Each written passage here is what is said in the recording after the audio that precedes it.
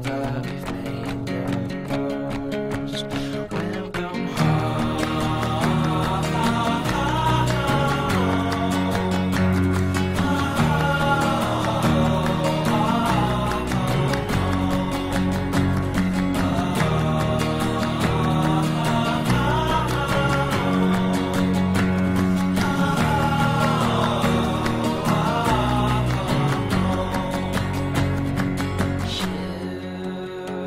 waves are launching from my chest.